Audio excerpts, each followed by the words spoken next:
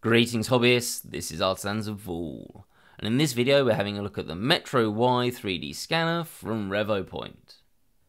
So this is the Metro Y, the successor to the Metro X, though starting this far through the alphabet doesn't really give RevoPoint that much room for future model names. So good luck to the advertising guys over there. But we've got a number of improvements over the Metro X, I'll cover that in a little bit, and you've probably already seen quite a few videos of this scanning various different items. Now RevoPoint do state that you should be able to scan relatively small things here, so as small as 5 centimeters. so I thought I'd give that a go seeing as I haven't seen any videos covering it, and we can see how crisp and detailed this actually turns out. So we're going to be scanning this, and while it is over 5 centimeters in size, it's also got some pretty skinny parts in these legs. Now I've already added on some of the markers that we're going to need to use, and because it's a small model, I'm just going to put these markers on the surface, which is perfectly acceptable to do and a really good solution when scanning something small. Now what I thought I'd focus on here is that there are a couple of different scanning modes that you can use with the Metro Y, and there's even more with the Pro. So the crossline mode is meant for general detail and should give you the fastest scans, as it's covering the most area repeatedly as quickly as possible. Then parallel mode should give you a bit more detail and potentially crispness at the slight expense of speed. And finally there's the single line scanning which is designed for capturing areas that have got greater depth to them that otherwise you can't really easily reach. There are also settings to allow you to scan dark or shiny surfaces like metal, which you can't do with a lot of other non-laser line scanners, but we're not going to really need them for this project. So once you're set up, you just click start scanning and you're ready to go. Now while this is showing on the laptop, I think it's going to be easier if I put a screen grab in the corner, just so you can see what we're doing. I have got a more detailed video on using the RevoPoint software, and it is really nice to use. In this instance for the laser line scanners, it's very clear on the way it works. You just keep scanning, slowly going backwards and forwards, and it's going to measure the markers, and you'll notice it turning from an orange to a yellow, and then eventually it turns to a green. And you want everything that you're interested in to be green, as it means it's got an appropriate level of detail. Now I did set this in a mode where it's going to try and capture as much detail as possible, as accurately as possible, so this is going to be a bit slower, but you can see we're already very quickly turning to this sort of greeny shade on the bits that I've gone over a couple of times, and that's because this is the cross-line scanning, which is going to be more quick. I think it's probably worth mentioning as well that while I'm doing this with the base set, you can also get a mobile kit as well, which allows you to connect this to a small handle, and then you can connect your phone to it, and you can see what you're scanning on your phone, making it easier if you don't have an object that you can scan right next to your computer or laptop. And on the Pro version, you can also use this turntable mode, which can help if it's not easy to maneuver yourself all the way around the object you're scanning. At this point I'll speed this up as I don't think you need to see me scanning this all in real time, but you get an idea of what we're doing. The important bit here is that you need to make sure that you're seeing five of those marker dots at the same time, otherwise it will lose tracking. And just to make sure that I've got five in view at all times, I've put them closer than you're recommended to need to do. They say about 5 to 6 centimeters apart should normally be fine for a larger object, but this isn't a larger object obviously. You do get quite a few of these markers in with the scanner. I think you get like five or six sheets, but this is an expendable that you do need to know you're probably going to need to get more of at some point in the future. So do bear that in mind. Again, the full field view that comes with the Pro version doesn't need any markers at all. So there's definitely a benefit to having that mode available as well. Now at this point I've paused this and there's a button to do that right at the top of the scanner which is really nice and you can start it up again from there as well and I'm just having a look around to check that all of the bits I'm interested in I've got enough detail for. Now for this I'm mostly interested in the top surface. I'm going to be designing something to connect these two areas but it's nice to have a little bit of side detail but I'm not particularly interested in it so I'm happy with this and we'll leave it there. So this is what we come out with and this is the point cloud. If we zoom in you can see each of these individual dots. And actually we've got quite a lot of detail here, even capturing things through this hole, which is good considering that the cross line is meant to be the least detailed for that. We do have a one-click mode available. I'm not going to use that, but actually it is fairly good. What I'm going to do is make sure this fusing method is high quality fusion, which is going to take longer, but it's going to give us more detail, which is exactly what we want. And I'm going to click to remove the markers, and that will basically delete these and put holes in its place. And that's fine because it's on a flat surface. Now I will say, speaking of flat surfaces, you can sort of see that there's a slight catch here where you've got the very black and the very white lines. And that's, again, understandable for a 3D scanner, and you get that with most scanners. You want a relatively similar coloured surface. And actually, the fact that these are about as extreme differences in colour as possible, and they've still come out fairly faint, is pretty good. I just advise to not go around 3D scanning any zebra. So I'm going to click apply and we'll just go through this process. Anything that takes longer than a couple of seconds I'll speed up and just let you know how long it took at the end. Okay, so that took a total of 2 minutes and 6 seconds. And I'm pretty impressed with this. We've got a very nice mesh. In fact, a really good mesh. It's pretty sharp. Now, we have got some things we can do. For example, I'm going to isolate all of the loose dots. This helps get rid of any minor points where you might have overlapped something or just been going a bit too quick. So we'll just apply that. That was in real time, so it was pretty fast. And then we can also do the same thing with overlapping. And you can fiddle around with these settings. I'm not going to bother with that, and it's still working out pretty great. You can see we've moved those markers where we've got holes now. Not that, that matters for this, but that'll get turned into a flat surface when we decide to fill in holes, which is at a later section. So it's important these markers get placed on flat surfaces if you're placing them on top of the thing that you're actually scanning. So just bear that in mind. Now we've got some really good detail here. We sort of missed some of these corners. Again, I was focusing on scanning from above, so that's sort of understandable. If I'd have come round to sort of here, we probably wouldn't have had an issue with that. So just bear that in mind. But from above, didn't get all of those tight corners perfectly, but for the bit that we cared about, just here and here, we did. We got everything that we wanted. So that's great, and we've got this corner just here, which is the important bit as well. So you can see at the moment this is still dot-based data. This is not yet a mesh. This is the point cloud. We can do things like smoothing things out, which is interesting. I'm going to show you this, but I'm not going to use it.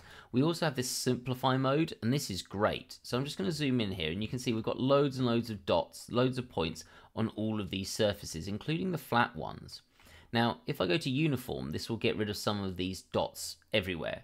But if you go to geometric, what's really clever about this is it will recognize where you've got more detail that's changing. For example, on these corner points that are slightly beveled, then it will recognize that and keep more dots there. Whereas on the flat surface, it will get rid of them. If we just click the geometric and apply, you'll see what I mean by this. And it doesn't take that long to do it.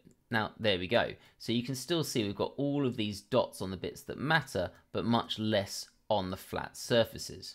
Now I'm going to control and Z to undo that just so that we're keeping all of the data.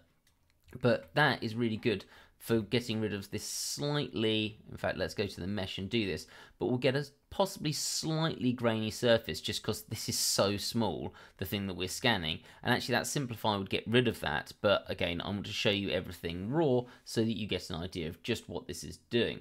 Now I'm going to leave my grid quality as the highest quality with a high quality mesh. It's automatically set it to that, I think based on the fact that I did a high quality fusion.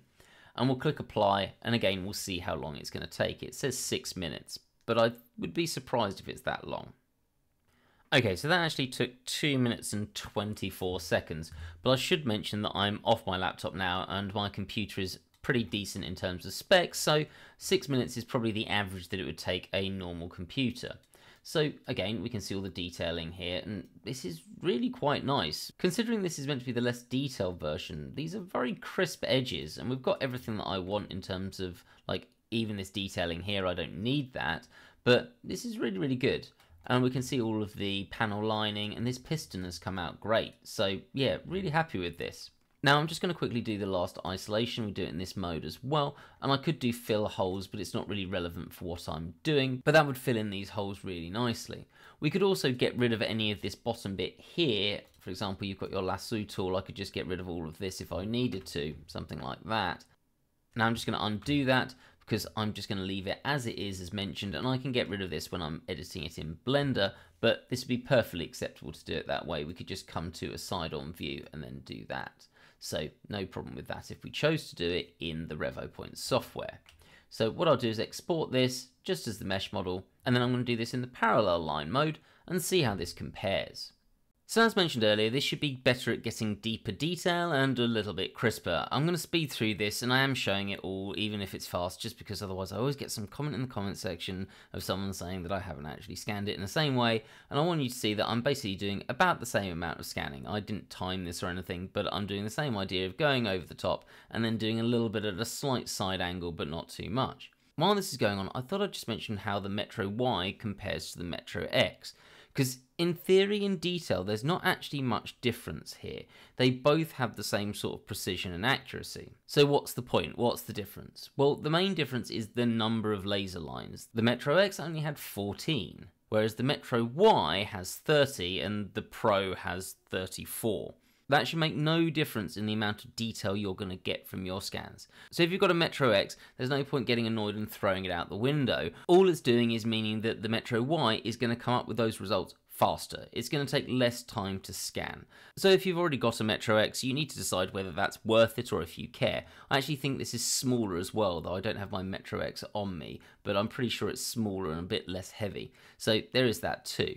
But if you have the choice of where to begin with and you've got neither of them, I would say the Metro Y is definitely more bang for your bucks, but the Metro X is still available if you want something cheaper, it's just not going to be as nice or as quick to use. So here's the results in Blender and we can see them side by side. And regardless of the type of mode you use, the answer to the thumbnail question, can you get enough detail to scan small models, is definitely yes. So here we've got the crossline version and here is the parallel line scan. And these were processed in exactly the same way with the one exception that here I forgot to get rid of the markers, but that should make no difference at all. And actually, we've got very little difference here. Let's just move this across a little bit. But these both look like absolutely superb scans. I mean, the size of these are really, really small, and we're getting a lot of detail, even down to these rivets and all of the panel lining on both of them is really solid. Though I would say the parallel line mode is living up to the reputation. I think these are just a little bit crisper than those panel lines. You can see there's just a little bit more depth. So really, really interesting. Let's just bring this over. And I would say, I do think this corner, this edge here, let's just click off so it's easier to see, is a little bit crisper as well than this one, but there's barely anything in it. Yeah, I think we've got, so just to be clear, because they're crossing over one another, here this is the parallel line one, and you can see it's just got slightly more consistent results here on this deep panel. Yeah, and actually here, look, just a tiny little bit more fuzzy than this one. Though, just to be clear about this, these are tiny in scale. This is like, there we go, five, nearly six millimeters in size. So these are minute, and these rivets are like 0.8 millimeters in size. So either way, we've got great scans from both of them. It just depends on if you want to spend a little bit more time to get slightly crisper detail. But just for emphasis, this is the same scanner. You can just choose which mode is right for you, speed or slightly crisper detail. But I think these have turned out great. So I've just removed the base here, this is using a simple boolean, but I just wanted to show you what would be next in this project and why this is so helpful. So I wanted to add something to this section here, and for that I need these accurate scans and measurements. It's going to make my life a lot easier. From here, I can start doing things like just noting down the individual corner points, so somewhere about there. Notice I'm not doing this particularly accurately, I'd actually zoom in to do this really correctly. And we can do this on both sides. And then from this point on, that's going to allow me to start generating some surfaces or some objects to fit into this gap. So I can start doing there, there, we'll just go here, and then here, here, and then and then there. And then now I've got this that's going to fill in that space. Now, again, not perfectly accurate. In reality, I need to come to that corner a little bit more. I could actually edit this and just start putting it in place. So we'll get something that's dead on correct once we've had a bit of time to fiddle around with this. But either way, you can see how easy it is to then get this object. And then from this point, we could start just modeling this out.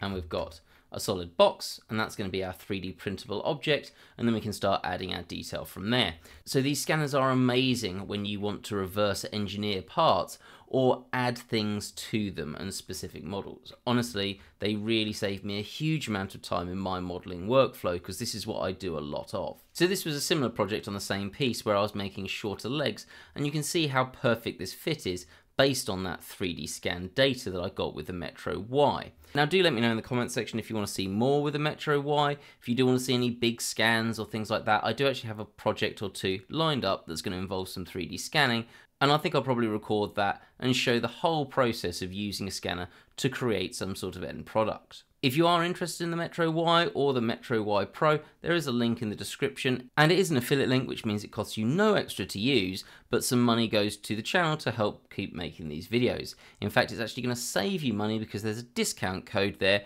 to get you a little bit of extra money off. Hope to see you in the next video, and have a great day.